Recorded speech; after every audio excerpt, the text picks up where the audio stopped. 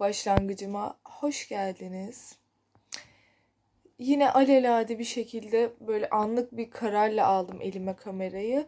Güncellemek istediğim bir sürü konu var aslında. Fark ettiyseniz saçımı kestirdim. Aslında böyle uzun uzun açarak göstermek isterdim ve şu an çok kirli. Ee, böyle kendimce yine bir gün oluşturdum. Niye sürekli kamerayı açtığımda hani bakım ya bir şey oluyor. Böyle oraya gidecek oluyorum. Onu da çekmek istiyorum. O yüzden yine bir vlog günü birazdan çıkacağım. Bu arada hazırlandım. Ee, dediğim gibi saçlarımı kestirdim. Beni Instagram'dan takip edenler hikaye atmıştım. Bilmiyorum sizin de görüşlerinizi merak ediyorum aslında. Çünkü hani içime sindi mi, bayıldım mı, nefret mi ettim hiç anlamadım. Hatta şu anda hiç güzel gözüktüğünü de söyleyemem ama işte şekillendirince daha güzel oluyor. İşte hacimli bu şey fön fırçası var, büyük fön fırçası var ya. Onunla hacimli olarak şekillendirdiğimde daha güzel duruyor saçlarım. O yüzden normal hali yani genelde diyorlar kısa saç kolaylık vesaire. Duştan çıktığında evet kolay hemen kuruyabiliyor ama işte kabarması bir de şimdi önünde kahkül var. Dediğim gibi bakın hikaye atmıştım kestirdiğim gün. O gün çok güzeldi ve ben o kadar şaşırdım ki etrafımdaki insanlar da çok güzel sakın uzatma böyle falan dediler. Hani acaba üzülmeyeyim diye mi saçım hani kesilmiş olan olmuş artık üzülmeyeyim diye mi dediler bilmiyorum. Ben de arada yakıştırıyorum arada uzun saçlarımı ölçüyorum ne yapacağım bilmiyorum. E, şimdi bugünün planından bahsedeyim size kısaca. Sabah dün çok geç yattım ama sabah erken kalktım işte işlerimi bitireyim istedim. Bir de şimdi sabah hava falan çok güzel kaçırmak istemedim. Gün bitsin istemedim öğlen uyanıp da. Akşam bir tane özel dersim var. Ondan önce de bir böyle solaryuma falan gitmeyi düşünüyorum. Gideceğim yer Moda'da. Yürürüm muhtemelen bir böyle 25 dakika falan yürüyeceğim oraya. İşte yolda da bir şey almayı planlıyorum. Sağlıklı bir şey alırım muhtemelen. Çok kahvaltı yapmak istemiyorum. Oruç tutamıyorum bu arada şu anda. sağlıklı bir böyle içecek falan alırım. Son özellikle bir iki haftadır o kadar kötü ki beslenme düzenim. Sadece işte akşam yemeği pizza, hamburger sürekli böyle şeyler yiyip duruyorum. Gerçekten midem falan bir error verdi. Bir kendime gelmem, toparlanmam lazım. Hatta son bir 2-3 haftadır spor falan da yapamıyorum. Bilmiyorum nasıl olacak. O yüzden iyi hissedemiyorum kendimi. İşte bir yaptığım anca dersim bittikten sonra biraz yüzebiliyorum. Onun dışında çok çok aktif bir hayatım yok şu anda. Neyse çok da oyalanmadan gelin çıkalım. Bir solaryuma gidelim. Bir seans gitmiştim bu arada ondan önce. Hani fark etti mi? Çok fark etmedim. Şimdi ikinci seansıma gideceğim. Muhtemelen bundan sonra daha çok fark eder diye düşünüyorum. Ben seviyorum ya böyle bronz teni. Daha pürüzsüz gözüküyor.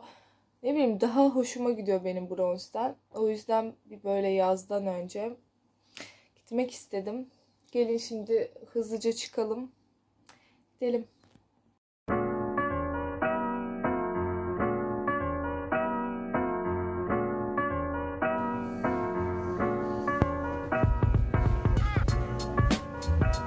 Şimdi bugün her yere koştur koştur gittiğim için böyle detaylı çekemedim. Ömer'le buluştuk. Ee, O da oruçlu. Muhtemelen Neyse şimdi oturacak bir yer buluyoruz. Hem onun iftarını açabileceği hem de benim öncesinde oturup birazcık dinlenebileceğim. Derste yoruldum birazcık. Şimdi kaç saat? Yani çok yok bir iftara iftara bir 45 dakika falan var. Bakıyoruz. Küçük bir kıyafet değişikliğinden sonra yine böyleyiz. Şimdi bilgisayarımı falan aldım. Sosyal medya için bir şeyler yapacağız. Ömer bana yardım edecek. O bu işlerden gerçekten güzel anlıyor. O yüzden bir böyle bakalım bir çeki vermek istiyorum. Aşkım bakmasana ben konuşurken ya da sen de konuş. Kadıköy'de bir tane kütüphane var biliyor musunuz? 24 saatte açık bir kütüphane. Aslında tam Kadıköy'de değil Hasanpaşa tarafında. Ee, müze gazhanenin içindeki kütüphane birkaç saat muhtemelen orada harcayacağız. Şimdi kütüphane şu karşıda gördüğünüz ışıklar böyle de korku filmi gibi gözüküyor ama içeriği falan da göstermek istiyorum. Burası Hasanpaşa'da Afife Batur Kütüphanesi.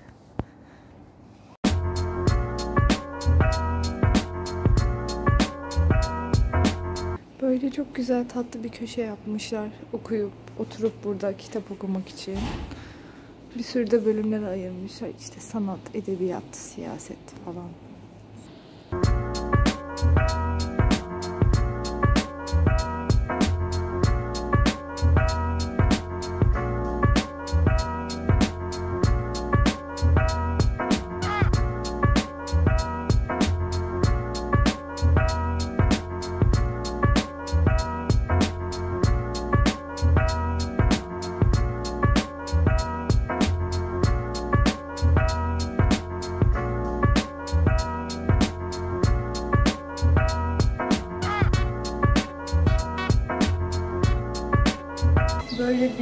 Birden karşımıza çıkmış gibi olayım. Instagram'da şansa gezerken sponsorlu olarak bir heykel workshopu çıktı. İşte bu ayı özel resim, heykel, ondan sonra işte seramik bir sürü bir şey vardı.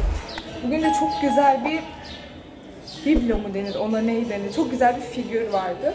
Özellikle bugün katılmak istedim. Şimdi size etrafı da göstereceğim. Burayı da hatta böyle bir çekelim, yaparken de çekelim. Burada daha önce yapılmış işte küçük figürler var diğer insanların yaptığı herhalde bıraktıkları şeyler var.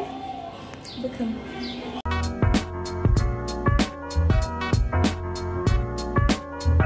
Mükemmel bir şey beklemeyin.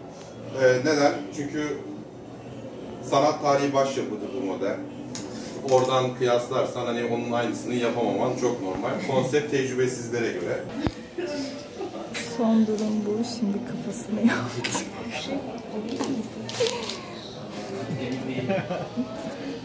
Diri yaptım. Bu parmağınla, işaret parmağınla bunu alttan bastır ve yüzey alanını genişlet aşağı burun kanatları var ya. Bak böyle bak.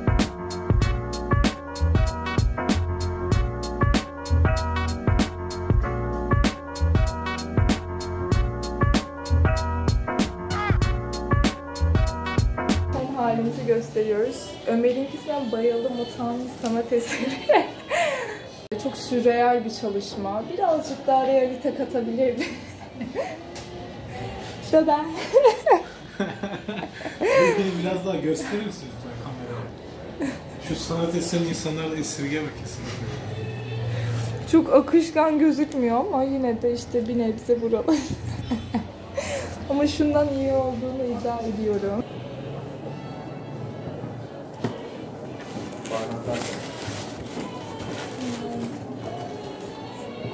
Günde kaç kilo gidiyor? Vallahi hesaplamadım ya. Gidiyor ama yani. Sen bozdun ya, bozmuyor. Bitmiş halini bırakıyor. Ben eğlenmeye geldim diyor. Şey yapmıyor, eve götürmüyor. Ama ben götürürüm ya yaptım. Ya bence de o kadar uğraşıyorsun ve ne bileyim emek Resmini veriyorsun. götürmeyenler Dursun, var. ne Bak olacak? burada bir sürü. Evet, herkese selam. Dün sizi en son masadayken yaparken yani o heykeli yaptığımızda bırakmıştım. Şimdi eve geldim. Dediğim gibi Ömer kendi yaptığını bozdu, yaptı, bir şeyler yaptı. Sonra geri kalan hamur büyük bir hamur kaldı geriye. Ben de ona niye konuşuyorum? geriye büyük bir hamur kaldı. Ben de onu almak istedim. Aldım dedim ki evde bari birkaç figür daha yaparım. Bunları boyayınca falan güzel olur diye düşünüyorum. Şimdi çok bir şey benzemedi göstereceğim. Zaten yapmaya çalıştığımız figür aşırı zordu. Bu başına tül geçirmiş gibi veya işte elbise geçirilmiş gibi olan heykeller var ya resmen böyle vücudunda akıyor. Ki onları genelde mermerden yapıyorlar. Daha zor ama ben de profesyonel olmadığım için elimden geleni yaptım. O da bir şeye benzemedi. Ee, şimdi daha kolay figürlere falan baktım. Pinterest'ten bir şeylere baktım. Eve falan koyarım. Yani kabus gibi de değil. Şimdi göstereceğim size. Yapmak istediğim figürleri de göstereyim. Şuradan başlayalım. Bu ilki. Bu, bunu yapmam belki ya. Bunu kapatıyorum şimdi dur. Bu güzel. Ya böyle mumlu kadın figürleri yapıyorlar ya bu benim çok hoşuma gidiyor. Bunu kesin yaparım diye düşünüyorum. Ya bu kadar güzel yapabilir miyim kıvrımlarını bilmiyorum ama bu çok güzel ve beyaza boyandığında bence güzel durur. Gerçi bunlar oklava falan lazım. Bu da güzel. Bunu da yaparım kolay. De böyle bir şey beğendim. yapacağım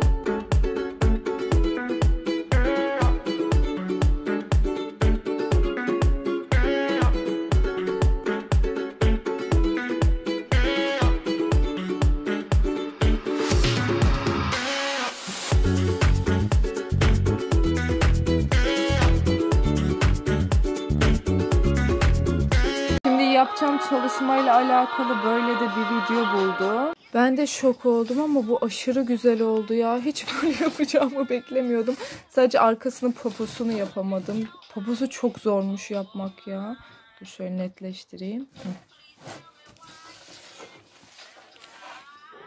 Bence güzel oldu. Böyle. Bitti o heykel faslı. Kurumalarını bekliyoruz. Kurumaları da 3-4 gün falan sürermiş herhalde. Şimdi Derya ile beraber belki güzellik merkezine gidelim bilmiyorum. Bir duş almam lazım. Saçlarım falan da kirlendi. Merak ediyorum siz bu saçı bana yakıştırdınız mı? Yani çok sağlıklı ve hiç dökülmüyor. Kestirdiğim andan beri gerçekten saçlarım hiç dökülmüyor. Bir de bugün şeyle şekillendirirken size de çekmek istiyorum. Böyle büyük fön makinesi gibi bir fırça var ya pembe olan One Step mi ne? Onunla beraber şekillendirmiş size de göstereyim. Şimdi hazır duştan çıkmışken bir de kil maskesi yapayım dedim. Bu aktarlarda satılan dümdüz toz kil var ya onu birazcık suyla sulandırıyorum. Bu şekilde yapıyorum. Kurusun şimdi. Sonra bir hazırlanma vakti.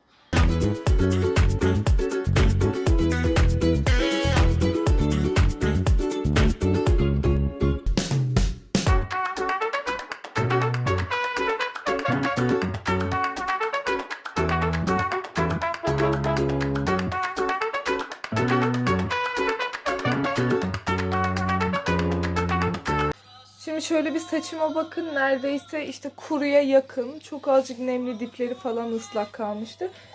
Şimdi bu eve getirdikten sonra bunu çalıştırıyorum. Çünkü uğraşmak istemiyorum onunla daha fazla ve yaparken de her yöne yapıyorum. İşte içe doğru, dışa doğru, yandan falan görürsünüz. Biz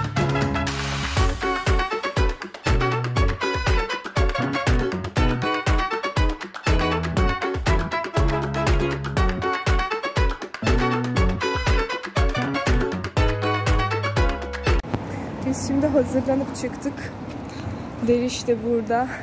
Gidiyoruz bakalım. Ya çok trafik olacak. Düşünüyoruz acaba Marmaray'la mı gidelim yoksa hani ne yapacağız? Vallahi bilmiyoruz.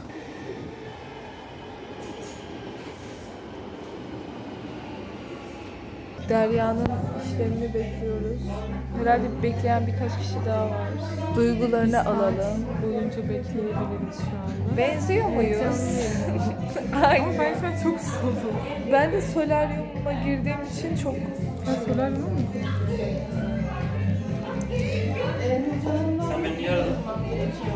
Şimdi bekliyoruz sıramızı. Sen niye bak çekimde? Böyle daha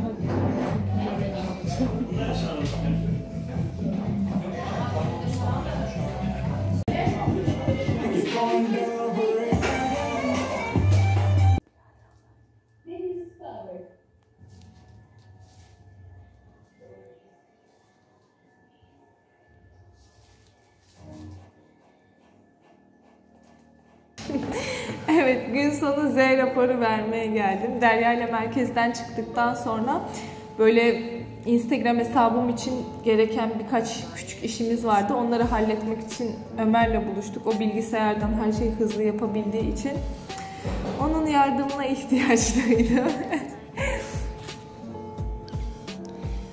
Aşk yok. Work, work, work. Maksimum 25 dakikalık falan işimiz kalmıştır değil mi? Yarım saatlik falan. O işimizi de halledip artık evlere dağılırız diye düşünüyorum. Bu arada burayı da göstereyim. Her geldiğim mekanı gösteriyorum. Buraya gelmek isteyen olursa böyle güzel çalışma alanlarında oturup çalışıyoruz biz de. Hazır onları da göstereyim. Size de belki bir fikir olmuş olur. Burası Yerli Emin Caddesi'nde Küf Kafe'nin yanında böyle küçük atölye oda gibi bir yer aslında. Ve genelde bu saatlerde boş oluyor. Şimdi göstereyim burayı da. Burası kapının girişi. Şöyle oturmak için alan var, sıralar var. Bu şekilde.